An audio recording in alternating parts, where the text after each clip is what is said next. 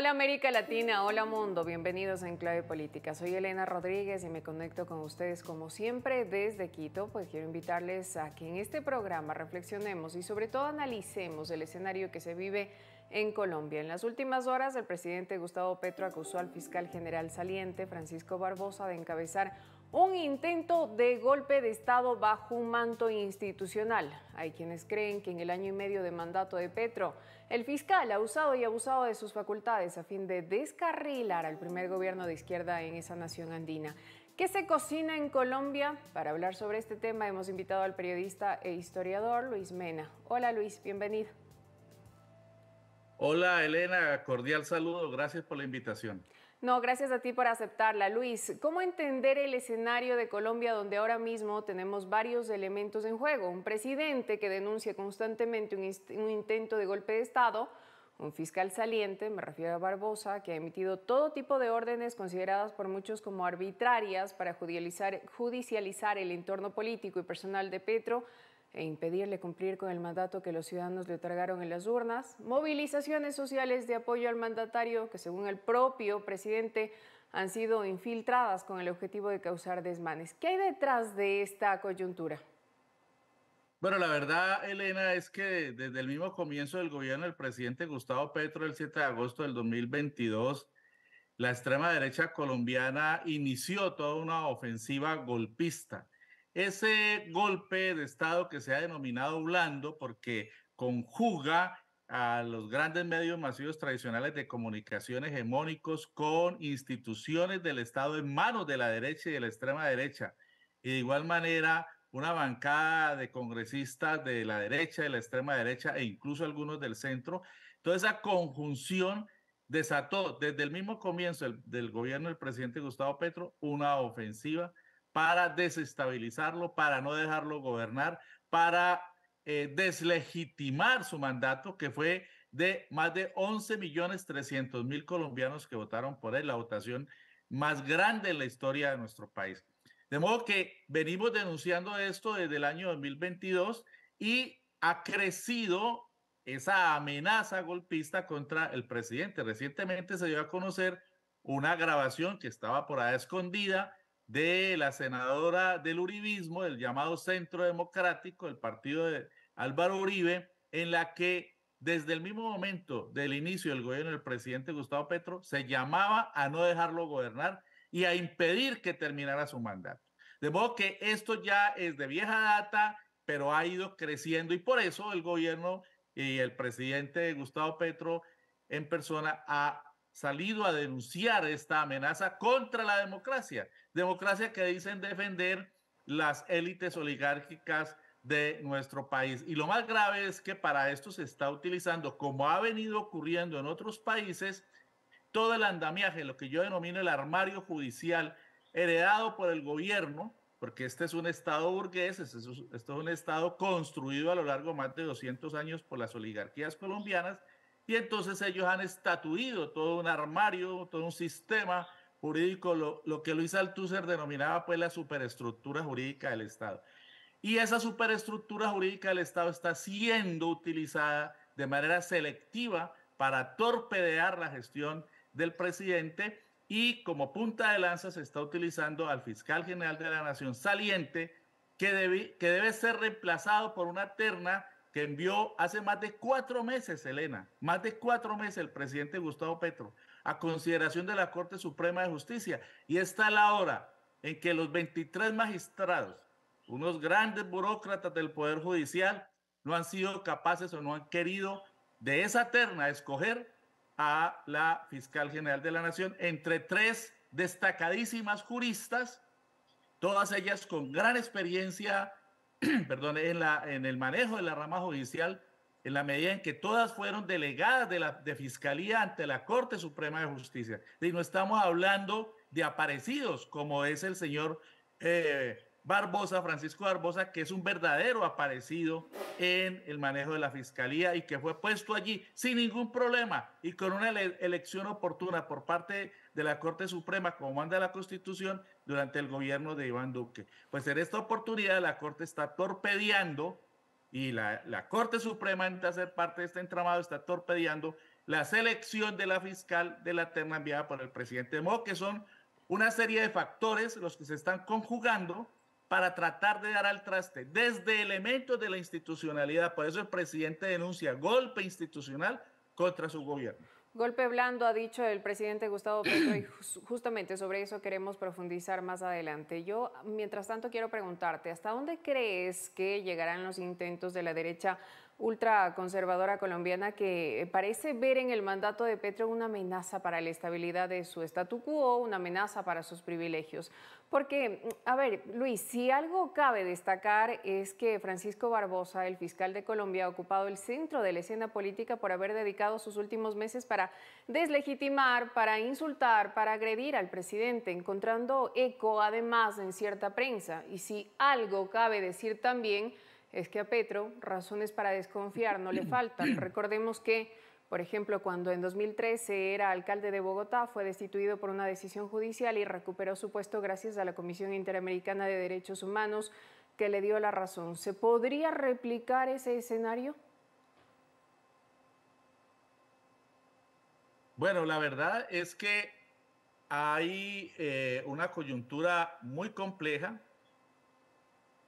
están tratando de reeditar efectivamente lo que un procurador general de la nación hizo contra el presidente Gustavo Petro cuando a principios de la década de, 2010, 2012, 2013, era el alcalde de la ciudad de Bogotá.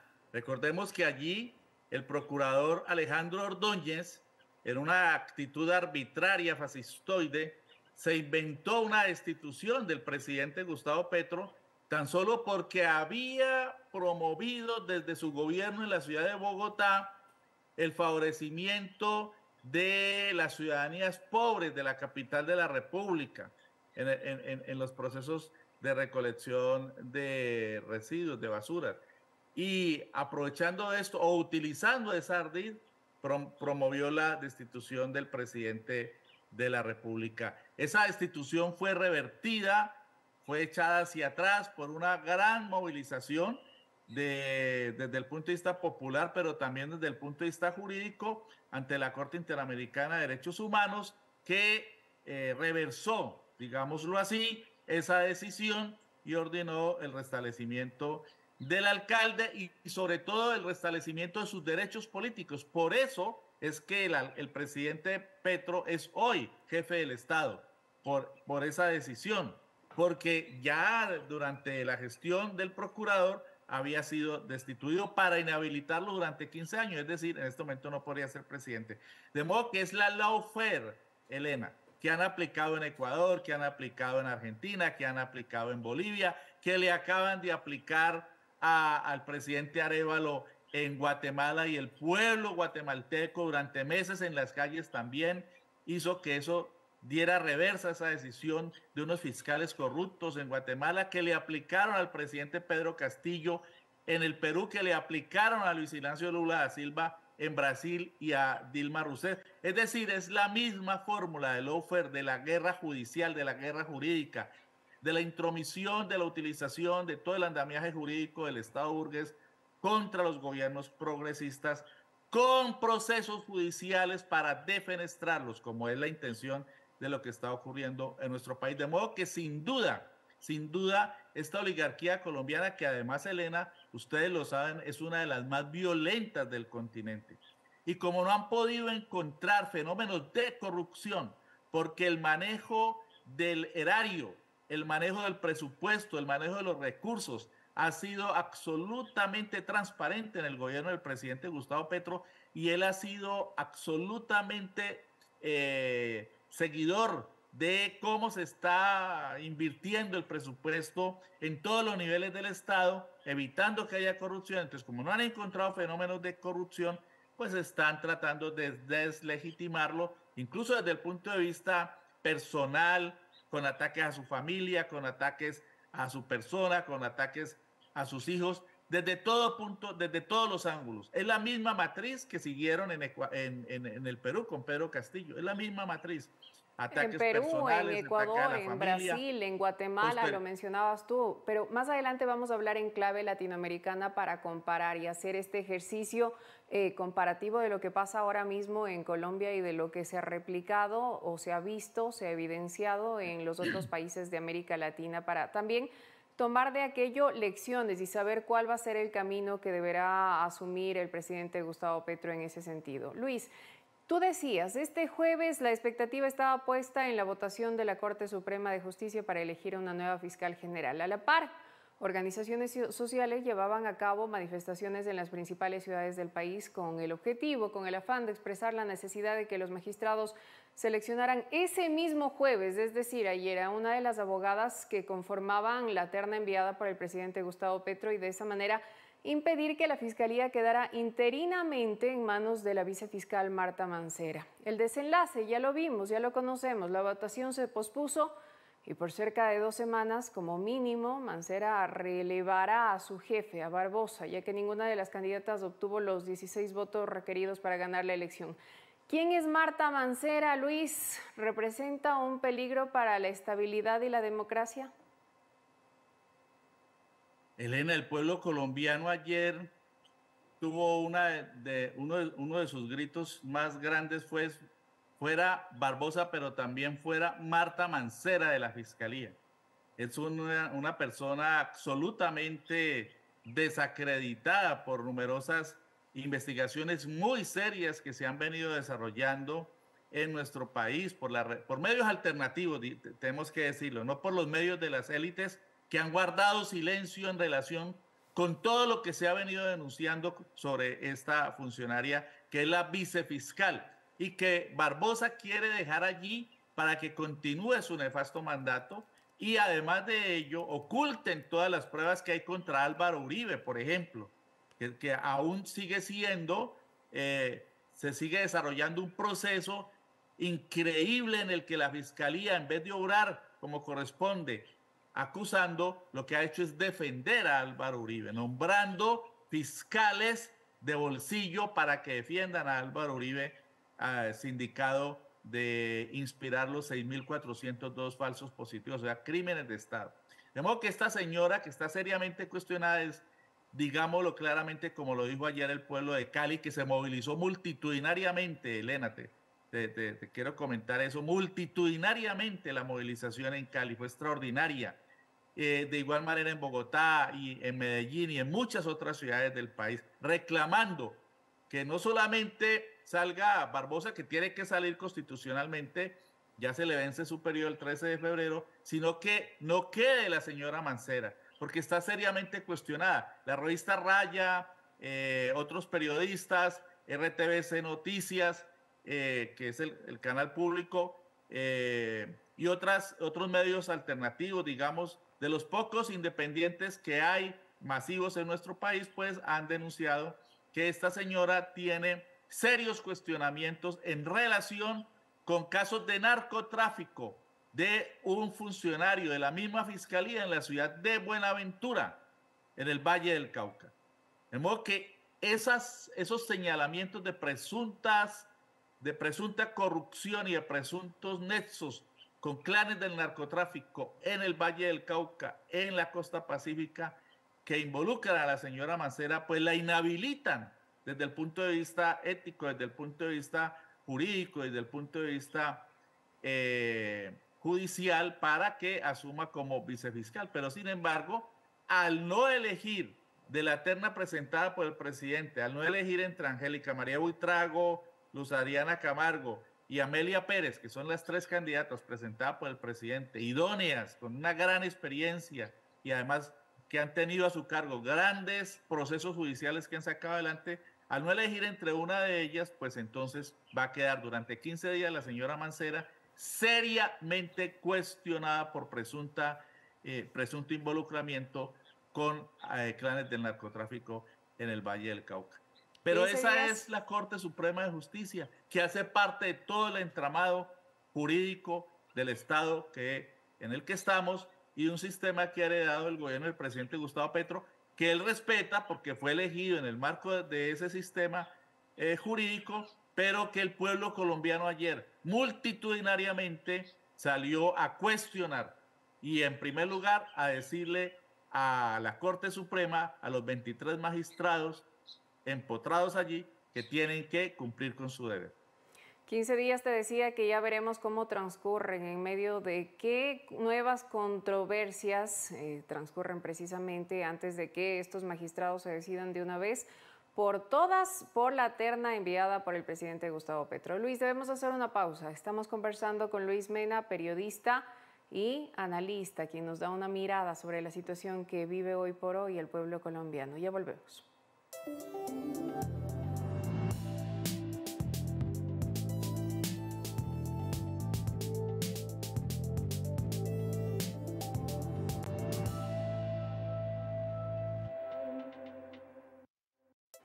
Ya estamos de vuelta. Gracias por seguir con Enclave Política. Estamos conversando con Luis Mena, periodista, analista e historiador, quien nos da su mirada sobre la situación que hoy mismo vive Colombia.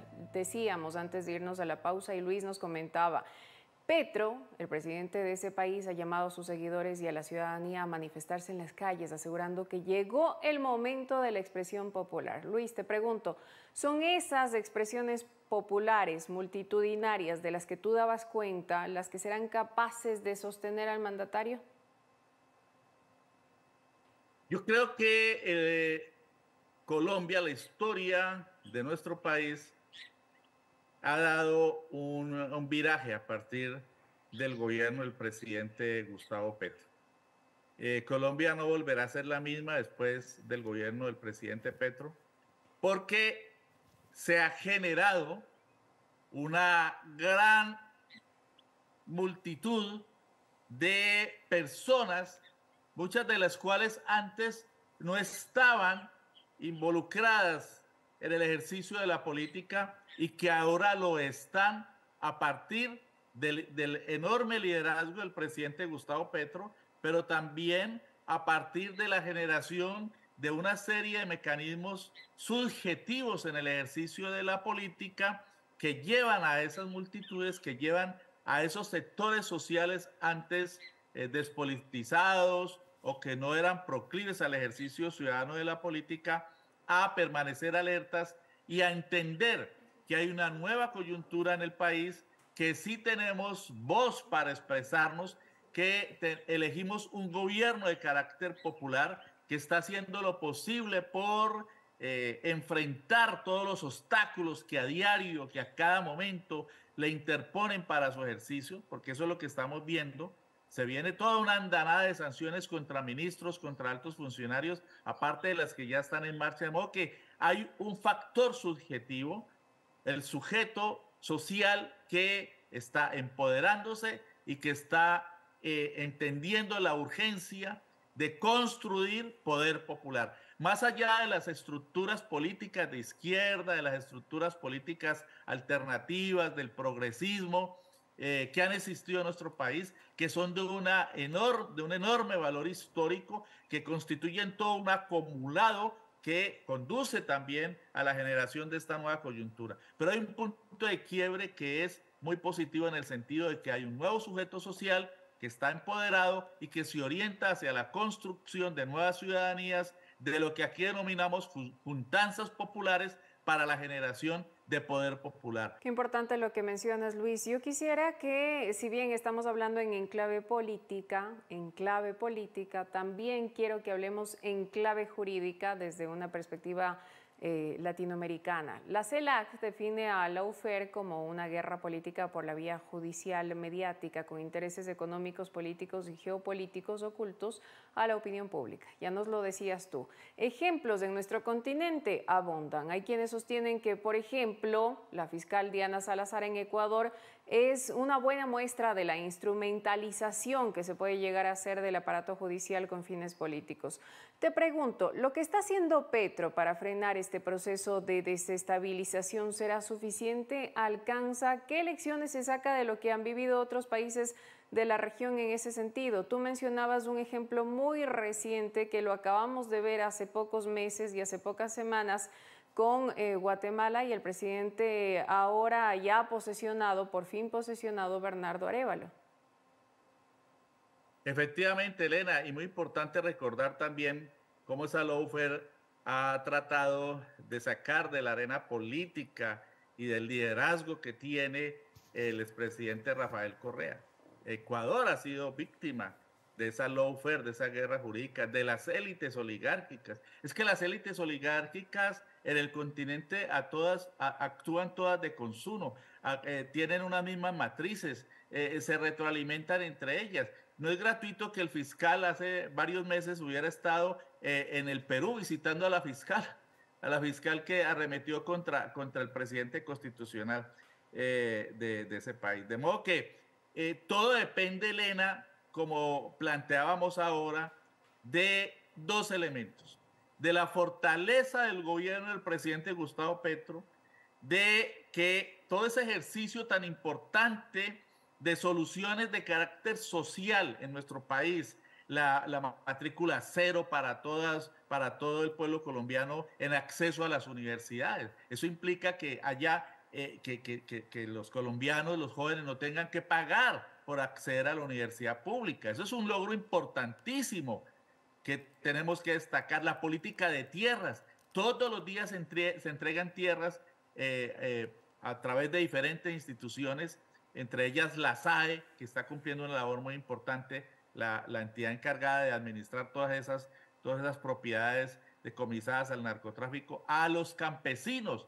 Esa política de tierra es muy importante, sacar adelante la política de, paz total. Es decir, una serie de políticas, además de las reformas de la, de la salud, de la reforma de la educación, de la reforma del sistema de tarifas públicas, de la reforma pensional para entregar pensiones a los viejitos en nuestro país y, de la reforma laboral para restituir todos aquellos derechos de los trabajadores que fueron conculcados por el gobierno de Álvaro Uribe, ahí hay un primer factor, que, que, puede el gobierno sacar adelante la mayor parte de estas políticas sociales. Y el segundo factor, lo planteamos ahora, es no perder la iniciativa popular, no perder la calle y que el pueblo siga empoderándose en lo que se, podríamos denominar una autogestión popular de juntanzas, de organización, de movilización popular, con miras a no solamente eh, garantizar que el gobierno del presidente Gustavo Petro se pueda cumplir hasta 2026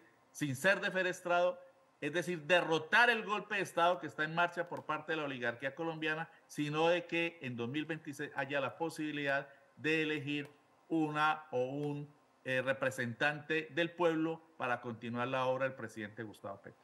Tengo aquí mm, ahora mismo abierto un artículo publicado por eh, el portal rebelión.org donde dice Petro ha logrado bajar el desempleo del 13.7% al 9% de la población, puso en funcionamiento la matrícula cero que tú comentabas para los aspirantes de entrar a universidades públicas del país, bajó la inflación revaluó el peso colombiano, entregó unas 100.000 hectáreas de tierras compradas, donadas y o recuperadas para los campesinos. Asimismo, su gobierno recuperó el turismo, amplió la gratuidad en la educación superior que permitirá acceder gratuitamente a las escuelas de formación de las fuerzas militares y la policía, incautó más de 1.100 eh, toneladas de droga, volvió transitable la Ruta del Sol, entre otros logros que ha conseguido el presidente Gustavo Petro en 19 eh, meses de gobierno. Luis, yo no quiero terminar esta entrevista, este programa, sin aprovechar y preguntarte sobre la nominación al presidente Gustavo Petro al Premio Nobel de la Paz. Sí, antes de eso, Elena, eh, la inflación, ¿sabes en cuánto está en este momento? 8,35, bajísima, porque llegó a unos niveles elevadísimos, sobre todo en la época de la pandemia. Y el desempleo ha bajado. El dólar que decían las élites los, medios de las élites, desde la misma noche del triunfo del presidente Gustavo Petro, decían que se iba a disparar a más de 5 mil, que iba a llegar a 7 mil, que iba a llegar a 10 mil. Desarrollaron terrorismo mediático. Nada de eso ha ocurrido. La estabilidad económica es otro factor muy importante, Elena. Lo has tocado muy bien ese punto. La estabilidad económica en, nuestro país es absoluta. El, dólar está en, en menos de 4 mil pesos, 3.946 pesos está hoy. De modo que y, el desempleo sigue bajando y la inflación sigue bajando. Bien, en relación con la nominación del presidente Gustavo Petro, yo creo que es una nominación muy importante. Sabemos que es difícil porque además ya empezó toda la campaña de, las élites eh, del establecimiento contra esa nominación. Aquí eh, la situación es, es muy compleja, Elena. Todos los días estamos sometidos a un verdadero infierno desde los medios de comunicación. Es que los medios de comunicación masivos de las élites, y en esto recurro de nuevo al TUSER, cuando planteaba que los medios de comunicación de las élites hacen parte también de la superestructura del Estado, ¿no? Esa superestructura ideológica que sostiene la, la estructura, la base, es decir, a los verdaderos dueños del país, que son los grandes pulpos económicos. Pues bien, todos los días el pueblo colombiano está sometido a la dictadura mediática, a la desinformación, a la manipulación, al discurso de odio. Aquí se ha vuelto eh, generalizado el discurso de odio desde los medios de comunicación, de, de, la inmensa mayoría. Aquí estamos enfrentando una situación muy compleja en ese sentido y por eso se hace tan, tan difícil esta lucha y en cierta medida también tan satisfactorio que el pueblo colombiano empiece a tomar conciencia a pesar de esa dictadura mediática. De modo que, eh, volviendo al tema de la nominación del presidente Gustavo Petro al Premio Nobel de la Paz, yo creo que sería absolutamente justo, entre otras cosas, primero por su política de paz total, porque es una política eh, sanamente ambiciosa que procura que la solución a los problemas de la violencia en Colombia no, no sean solamente de un lado. Santos dejó un acuerdo de, de paz maltrecho con, con, con, la principal guerrilla, en ese momento quedan las FARC, pero después surgieron una cantidad de circunstancias que han derivado en las llamadas disidencias. Y una cantidad de desintegrantes de las FARC ahora otra vez alzado, lo mismo, eh, no hubo ninguna solución con el ELN. Los, los grupos paramilitares siguen existiendo porque crecieron, disidencias y paramilitares crecieron durante el gobierno de Iván Duque. El mismo gobierno de Santos no implementó como debería implementar el acuerdo de paz, tampoco lo hizo el gobierno de Duque, que tuvo como política hacer, eh, eh, romper, hacer añicos el, el acuerdo de paz. De modo que el presidente Petro se ha propuesto no solamente cumplir el acuerdo de paz en todos sus ítems, empezando por el de las tierras, por eso la entrega de tierras a los campesinos, sino también eh, procurar que haya acuerdos de paz para una paz total con todos los sectores, eh, con la guerrilla, con las disidencias, con el ELN, pero también que haya sometimiento del paramilitarismo y del narcotráfico. Son tres frentes muy complejos eh, que se ha propuesto el presidente. Modo que ya de, hecho ese, solo factor ameritaría que fuera eh, candidatizado al Premio Nobel de, de, Paz. Pero además de ello, el presidente Petro ha sido uno de los pocos mandatarios del mundo que ha sido frentero, que ha sido vehemente en la denuncia de esa agresión eh, inmisericordia, infame, ese genocidio que comete el Estado eh, sionista, terrorista de Israel contra el pueblo palestino. Ha, sido, ha ido de frente a denunciarlo y lo, ha, y lo ha señalado en múltiples, en decenas y decenas de pronunciamientos el presidente Gustavo Petro. Y ha tenido una gran incidencia a nivel internacional. En las Naciones Unidas propuso una conferencia internacional para la solución de ese para la solución de lo que pasa eh, eh, en, en, en el Medio Oriente, específicamente en Palestina y para que se restituyan los derechos del pueblo eh, palestino. De modo que esos dos factores, entre otras cosas, toda esa claridad y todo ese humanismo del presidente Petro en relación con su solidaridad con el pueblo de Gaza, con el pueblo palestino y su denuncia de la masacre que comete el Estado sionista de Israel contra el pueblo palestino, le ha valido aquí toda una andanada de la derecha, incluso de gente de centro, que empieza a sacar las uñas y, en, su y en su oportunismo característico, pues arremeten también contra el presidente. De modo que yo creo que eh, es absolutamente justificada esta candidatura, pero esperaremos pues eh, cuáles van a ser los resultados eh, en, en, el comité encargado de entregar esta, esta, esta distinción. Estaremos pendientes, por supuesto que sí, Luis. Muchísimas gracias por tu mirada, por tu análisis, por acercarnos a ese otro punto de vista, a esa otra perspectiva de tu país.